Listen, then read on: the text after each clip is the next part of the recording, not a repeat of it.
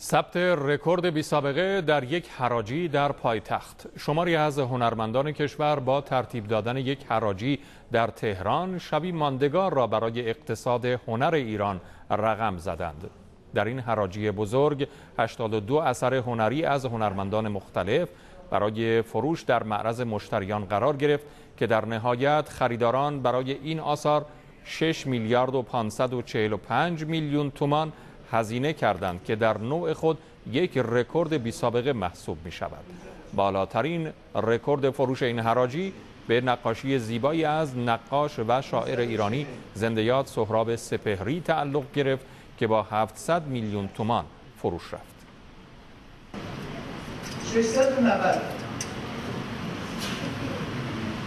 700